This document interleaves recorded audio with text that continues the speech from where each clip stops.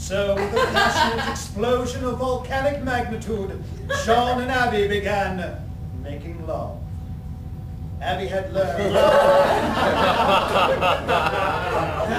Abby had learned from her encounter with Richard and Tasha how to let herself go freely into the deepest rim of her fantasy where she could be very submissive.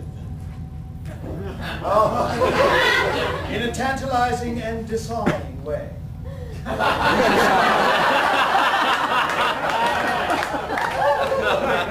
And they both reached their peak at the same time.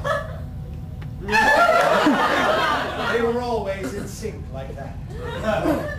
Abby. Oh God, Abby, yes. yes. Yes. God, yes.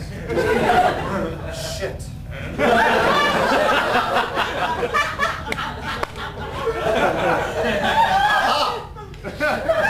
Aha, aha, aha, yes, say my name. say my name again, Sean. Yes, aha!